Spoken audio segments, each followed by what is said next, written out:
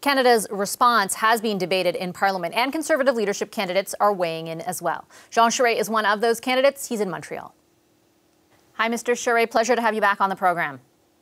Thank you, Vassy. I wanted to start off with probably the most pressing, and that is, of course, Russia's invasion of Ukraine. The interim leader of the Conservative Party, in response to President Zelensky's address the other day, uh, uh, proposed the idea that there be a no fly zone designated over humanitarian corridors in Ukraine. Uh, do you agree with that position? We have to uh, work very closely with our NATO allies, and we can't move alone on that, uh, Bashi. So uh, I, I, I, certainly think that Canada, among other nations, needs to apply pressure on, on Russia in as much as possible, and, and that the Russians know that this is something that is out there. But whatever we do in the end, we have to do it with our NATO allies. But do you specifically think a no-fly zone is? And, and the reason I'm asking is because you know, for for example, so far yeah. the president, the head of NATO, they've all said, look, it's too escalatory. Whatever form you want to take it in, it's too escalatory. Uh, your party has proposed somewhat of a, a, a different solution. Okay, do it, but only over certain areas. The response has still been that's too escalatory. Do you think it's too escalatory, or do you think it's a smart proposal by your party? I, I, think our party is right to apply pressure and to keep this issue and this question on the table. At the end of the day, though, Vassy, we have to move. We can only move with our NATO partners, and uh, and if that's the position, and if the conclusion is that the risk is too high, so that we escalate the uh, the conflict, well, then we have to, I think, uh, respect the uh, the consensus of our partners on that, and continue to work with them, and continue to apply sanctions. Upping sanctions uh, is probably uh, makes a lot of sense for us as a country, uh, continuing to supply Ukraine with uh, lethal arms because this is uh, something that they need and aid in other ways, and plus uh, preparing for what may be an influx of Ukrainian refugees to Canada, though being careful that we're we're still early on in the sense that they are out of the country. We don't uh, we don't want to get ahead of ourselves, but we're all of us in Canada, all parties, every province, every everyone concerned, I think, uh, know that uh, if there are Ukrainian refugees who are coming to Canada, that they will be welcomed here with open arms. In light of uh, what's happening in Ukraine, you wrote an op ed pledging to, quote, move quickly to ramp up Canadian defense spending yep. to 2% of GDP. How quickly would you ramp up that spending? Well, we look at the budget cycle. We have to respect the ability and the capacity of the armed forces to be able to do that. For example, we need to move from 60,000 to 100,000 troops uh, to have uh, all the resources we need. And one of the big issues, Vassy, for Canada, and it's a wake up call, is our northern sovereignty, the sovereignty of the Arctic. You know, Mr. Harper used to do an annual trip there, and some saw it as symbolic. Well, now I think they understand that there was more to it than that because Russia is our physically our neighbor in the north. And we have a lot of resources there. There's issues of sovereignty, and that's going to be one of the biggest issues that the next uh, that this generation of Canadians will now be facing: the ability for us to occupy the North and to affirm uh, our sovereignty. And our armed forces play a key role in that uh, in that respect. The two percent is about the NATO commitment uh, that we've made. We have made this commitment to our NATO allies that we would uh, invest at the uh, at two percent of GDP. So let's get there as rapidly as possible. Uh, and certainly, I understand all the points you're making about threats to sovereignty and the, the, the need to invest. But when you say as quickly as possible, uh, you know, as someone who's positioned himself as a fiscal conservative, we're talking about an extra $15 billion when there's a deficit of $144 billion. Are you talking about the next five years ramping up that spending? Or are you talking about the next 20? It'll be phased in, uh, Vassy, as rapidly as possible as we can do it, you know, uh, based on the choices. And you're right, the budgetary choices that we have to make. But that's what governing is about. You have to make those choices. And I am, yes, very much a fiscal conservative. I have been all my life. I, you know, uh, my government left a eight billion dollar surplus to Mr. Legault and a higher credit rating in Quebec than uh, Ontario because I, I, believe in that. But I also learned from that experience that you can do it in an orderly fashion. You don't have to break everything by reaching that objective of balancing your books. Do it in an orderly fashion. But certainly in this context of the crisis, that we're seeing in, in, with Russia attacking Ukraine, uh, every Canadian, I think, understands that this is going to be a high priority for our government and needs to be to be able to protect ourselves. Respectfully, how does that differ, though, this idea that you're going to phase in an increase in spending? How does that differ from what the Liberals are already doing? Well, the Liberals did not move on this. Uh, you know, in 2015, they've been in government since 2015. They know that this has been in front of them. The uh, procurement process of the armed forces in Canada is a mess. Uh, as we know, just uh, you know, the whole process to buy new fighter planes has been in in disarray. We have to bring some order to that so that we can uh, we can buy the equipment that we need, and uh, and that's a good example of how the the Liberal government in the last uh, seven, eight years have been sitting on their hands. They haven't been doing their job on this issue. And Respectfully, so now, though, the previous, yeah. sorry to interrupt, Mr. Charest, but the previous Conservative government also dragged their foot on spending on defense. There were also well, issues with procurement there, too. And all I'm asking is whether or not your promised increase in spending will happen at a, a different rate than what the Liberals have promised and actually say that they're on track to meeting. What I'm saying today is that this is now moved up as a priority for the government of Canada for reasons that are obvious to anyone who's listening to us today, and especially in regards to the Arctic, and uh, where it is urgent now that we as a country do what we need to do to affirm our sovereignty. And remember one thing about the Arctic, even the United States, even the United States went out of their way in 2019 to say that the Northwest Passage was not Canadian territory. So this isn't uh, an easy issue for us, and one with which we have to move with a great deal of uh, of determination. When you are thinking about uh, future spending and, and, things that, as uh, you know, leader of the Conservative yeah. Party, you would advocate for, or as Prime Minister, you would enact, uh, do you envision balancing the budget, and and over which period of time?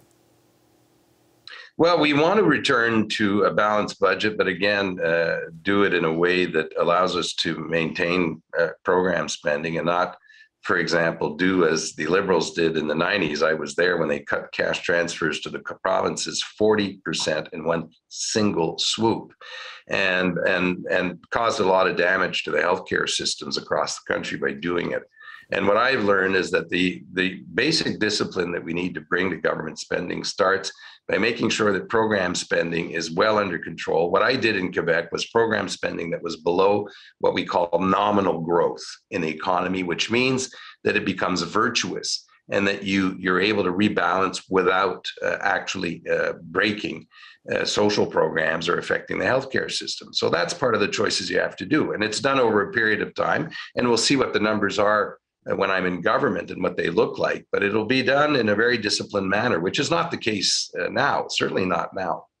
Am I to interpret that as, uh, you know, you're, you're not going to be saying, I can balance the books. I mean, we know what the deficit is right, right now, $144 billion. You're not going to be coming out and saying, I will balance the books in, in 10 years, which is what Erin O'Toole promised in the last election. Do you envision putting a number on it like that, or, or are you just going to uh, sort of say what we you will, We'll, we'll speak to that in due course, Vassy. This is the beginning of the leadership race. We will speak to that issue in due course, and we'll do it in a in an orderly fashion, and uh, and we'll do it in a way that allows us to pr- protect uh, program spending and not uh, again disrupt basic services like healthcare that uh, are going to be so critically important, especially when we draw the lessons from the COVID episode.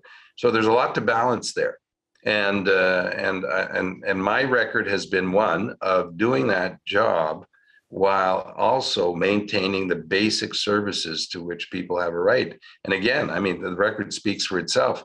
After 15 years of government in Quebec, Mr. Legault was left an $8 billion surplus. You're not going to see that in your lifetime again, by the way. But that was the discipline that I brought to government spending. When you say you'd maintain program spending or you'd, you try to protect program spending. Would you keep the liberal childcare deals with provinces? Yes, uh, the child care uh, initiative is important. It has to be tailored to the needs of every province and the way that they want to deliver those services.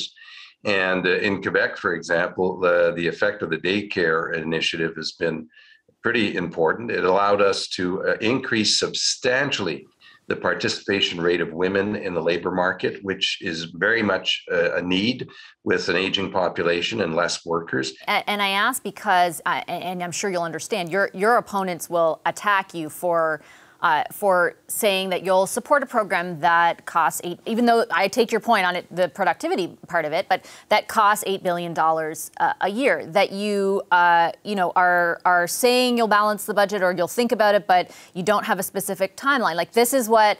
Uh, for example, Pierre Poilievre uh, will say is lacking in your campaign. That you call yourself a fiscal conservative, but you don't have meat on the bone. What's your response to that? I have a record. And I don't think any of my adversaries have a record. I have a record, Vassy, and my record speaks for itself with real results, tangible, real, real results. That's that's what I have. And and in regards to families and reduction of poverty, when I, I left office, we had reduced poverty poverty substantially in Quebec and uh, and the daycare program, which was started by the PQ government, by the way. And when I arrived in Quebec politics in '98, I was reticent about it. I thought it cost a lot of money.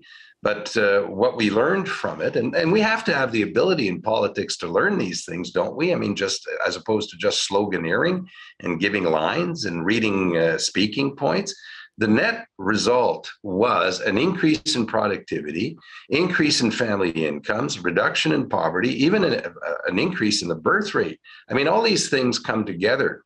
And, and you have to be able to look at the larger picture as opposed to just you know going out there and sloganeering and uh, and uh, practicing American style politics. That's not what this this country needs.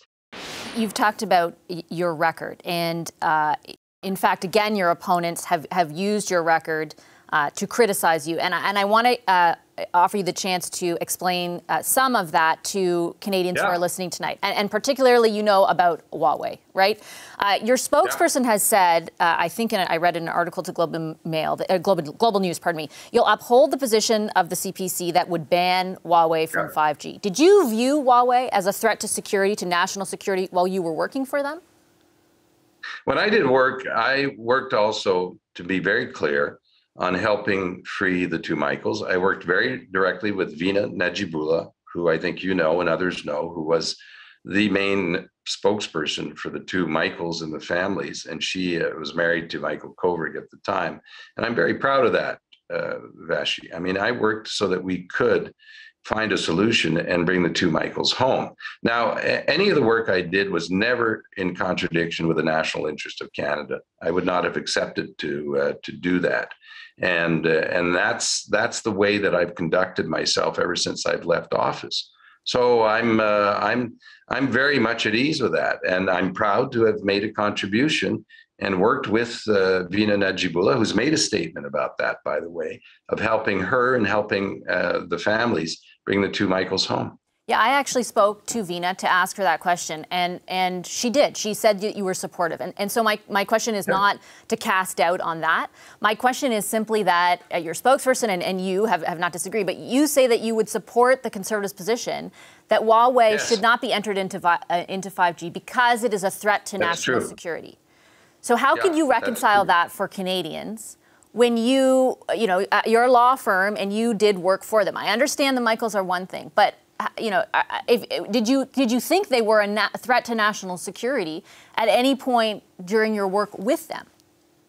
The position that you have just reported is my position as a leader of the Conservative Party and a Prime Minister of Canada. And when I'm in that job, I'm I'm representing the interest of Canada. Period. Period. Full stop period.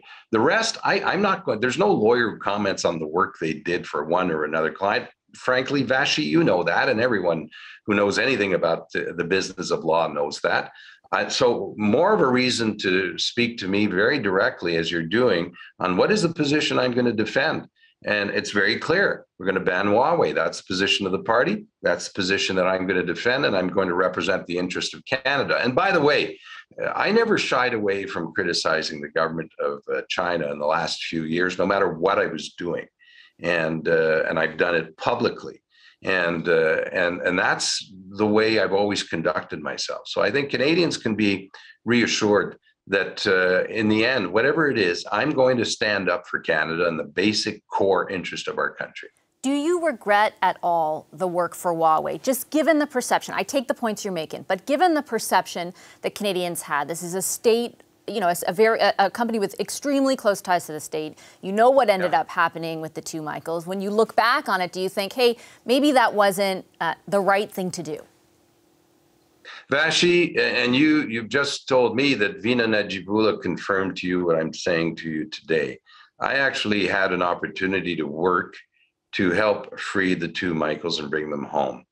And I'm proud of having done that work. And that was in the interest of, of course, two individuals who uh, were, you know, were the victims of a government sanctioned kidnapping. There's no other way of saying it and uh, and I'm proud of having done that work and and bringing them back home. Do you have a pact with Patrick Brown, as the Toronto Star is reporting? No, I don't. And I've known Patrick Brown a long time, and uh, he came into politics with me. And I'm going to establish a relationship with all the candidates, if, if possible, during the campaign, uh, because we're all of the same party. And when I become leader, I want the other candidates to be part of our team and unite the party. And I'm going to, by the way, I mean, you talked about the other candidates who keep attacking me. I mean, there's some candidates spend more time attacking me than actually running their own campaign. And that says something. I take it as a compliment.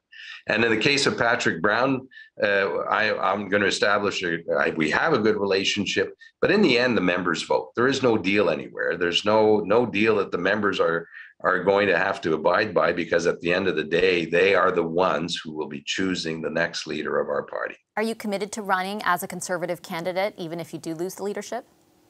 I will win the leadership. I will be the leader of the party. I'll unite the party, and I'll tell you what, Vash, it's going to be very exciting because then we'll have a about two years, not a lot of time, but enough time to prepare for an election campaign and to elect a national government, which will include, by the way, Alberta and Quebec and all of the Atlantic and the Maritimes, the West and British Columbia and the territories. I mean, I'm that's why I'm running for my very deep belief in Canada. And this country can only work if we are if we have that vision and leaders committed to it as opposed to wedge politics so that the we can we can meet our potential, our full potential as a country. Being born Vassy in Canada is like winning the lottery, or having citizenship is like winning the lottery.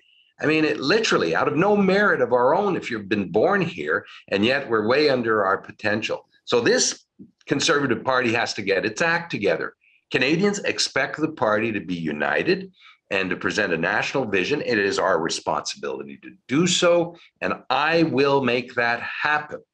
With great respect, that's a, a, a, a campaign pitch to our viewers, but it didn't answer my question.